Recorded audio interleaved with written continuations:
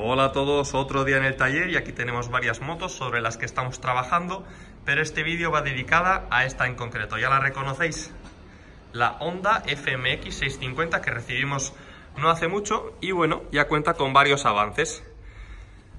La horquilla invertida, por ejemplo, esta es original del modelo, no está modificada y tampoco sus llantas. Vamos a verlas en detalle. Yo creo que las llantas eran de 17 pulgadas, lo confirmamos, 120, 70 y 17. Así es, tanto la delantera como la llanta trasera son de 17 pulgadas, así que podría decirse que son ruedas de supermotar. En cuanto al tren delantero, pues bueno, cuenta con unas horquillas invertidas, también son originales del modelo, así que como veis, de prestaciones va perfecta. Es una moto sin duda proporcionada y muy agradable de conducir. La verdad que el tipo de conducción, su postura, invita a montarse en ella y recorrer kilómetros, porque una moto además de ser bonita, tiene que ser funcional y bueno, que cumpla todos los requisitos que den ganas de conducirla.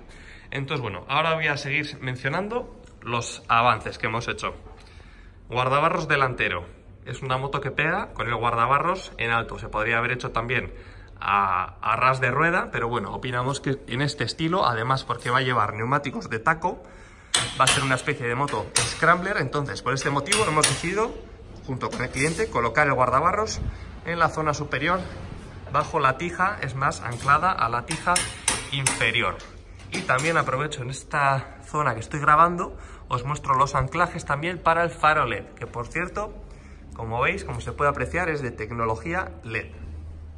Sigo grabando por la parte frontal, grabo por la parte superior y aquí vemos el manillar rental y un soporte que hemos hecho también tanto para el velocímetro como para los testigos de la marca Daytona. Ahí estaría y aquí los testigos separados, neutral, indicadores, largas, aceite, etcétera.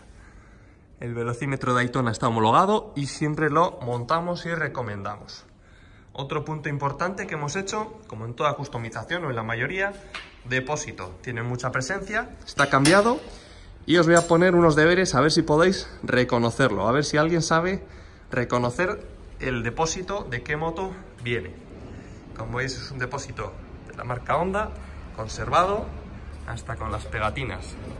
Ricordati, algún modelo italiano sería. Tapón, la rosca y algún punto de óxido si tiene, no se aprecia, así que lo conveniente sería realizar el tratamiento epoxi interno antióxido. Además por aquí se metería el aceite directamente al chasis y todo esto se conservaría original, el clausor, las piñas todavía están por ver, los puños seguramente se cambien porque mmm, tenemos como opciones de la marca Bitwell, por ejemplo, son puños muy muy buenos y apenas cuestan 14 euros, entonces por poco se cambian, quedan como nuevos y lucen mucho. Y por la parte trasera, como veis, es un chasis, bueno ahora está con el depósito presentado, pero es un chasis rectangular que va de inicio a fin. Entonces esta es la idea que tenemos pensada para la moto. No cortar ni el chasis, que no se puede, ni el subchasis, que sí se podría, sino que dejarlo en la parte interna tal cual se ve, pero por los lados realizar el típico subchasis característico en, todas todo este tipo de customizaciones. Acabado en U, como, lo llamamos, un cierre en U. Luego ya quedaría realizar sus fijaciones apropiadas y de esta manera que conseguimos, además de no cortar nada y conseguir que la moto sea reversible, una línea horizontal iba a decir total, pero bueno, no es total, pero bastante horizontal, que es lo que se busca en este tipo de motos para que tenga una buena estética. Como veis, la moto estaba perfecta. Aquí tengo la matrícula de PN, será año 2004. Y aquí pone también FMX 650, código de color. Bueno, estaba entera y perfecta esta moto.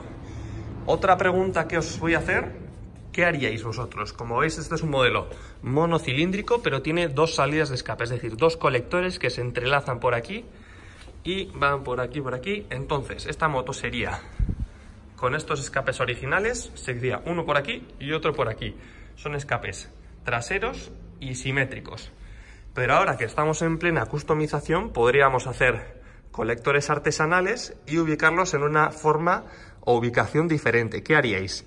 ¿Juntarlos a uno, colocarlo lateral, em, que el otro vaya por el otro lado, doble salida trasera simétrica, igual que el origen, pero con escapes más cortitos?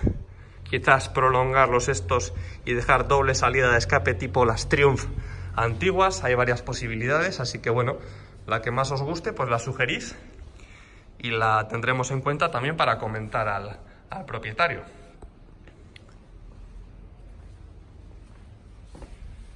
Entonces, bueno, como siempre, animaros a comentar qué os parecen las customizaciones. Si no os gusta, pues bueno, desde el respeto, no me parece, me parece fea por tal, tal, tal, o es mejorable por tal, tal, tal. Siempre críticas constructivas y no destructivas. Las destructivas que van de mal rollo, las borramos ya por la siguiente. Pero bueno, la verdad que estamos muy contentos que, que en el canal se recibe mucho apoyo, mucho ánimo. Y, bueno, aquí estamos nosotros en el taller, dando moto abarcando todas las motos. Aquí ya veis todo el cableado que habrá que simplificarlo. Y esta es una moto diferente también porque el chasis, además de ser rectangular, fijaos el filtro de aire, cómo sale. Eh, de, forma, de norma general se queda en la zona céntrica de la moto pero aquí sale por los laterales adecuándose al chasis. Y bueno, eso sería. Ahora que nos toca centrarnos en el subchasis, fijarlo bien, que sea seguro, que sea bonito.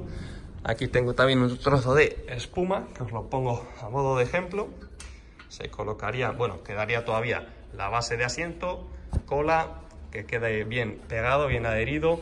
Luego una capa de espuma, pues no sería suficiente, sino que habría que añadir dos o una y media, luego quedaría el moldeado del asiento y finalmente el tapizado. ¿Y el depósito? ¿Qué haríais también? Otra pregunta. ¿Conservarlo tal cual está, con sus colores originales, historia, desgaste, etcétera? ¿O lo repintaríais al gusto, algún color en especial?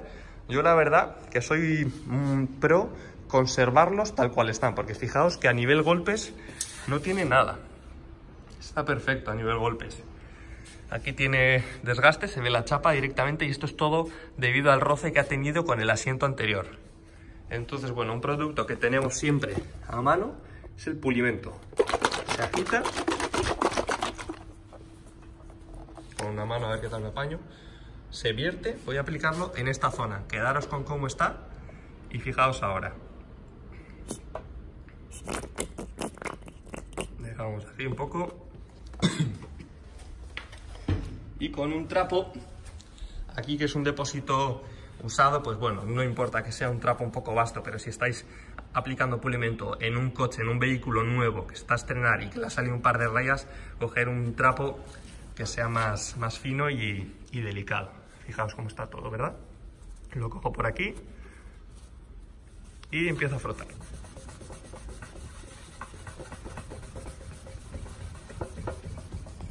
Voy a apoyar el móvil para hacer un poco de presión.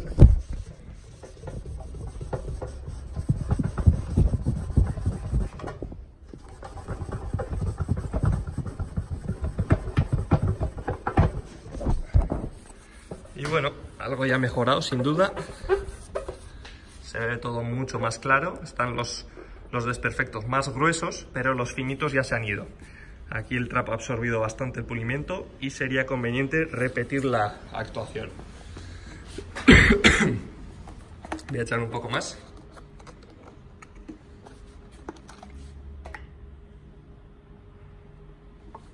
Y con esto ya debería bastar y mejorar bastante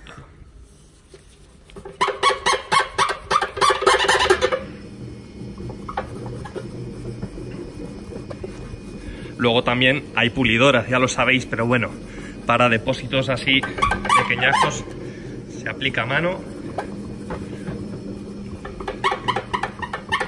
Y queda bastante bien.